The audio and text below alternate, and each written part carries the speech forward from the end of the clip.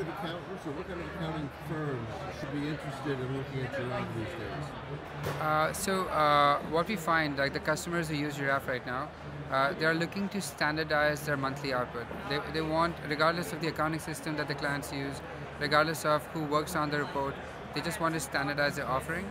Uh, and Jirav lets you do that. It connects to Xero, connects to QuickBooks, connects to uh, NetSuite, it doesn't matter. You can build your own chart of accounts within Jirav and you can standardize the way you build out the reports and dashboard. Uh, so it helps you do that. And in effect, it helps you scale your organization uh, when it comes to that.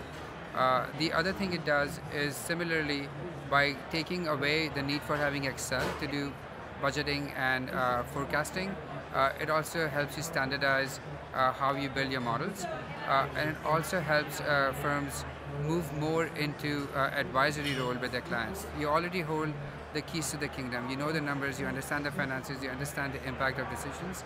It helps firms guide their clients into, hey, let's look at your forecast, let's figure out how to get there, and we can kind of work together and collaborate on building out the scenarios, uh, and then we can also do monthly reforecast, look at variance reports, and really kind of be your ally in getting you where you want to be.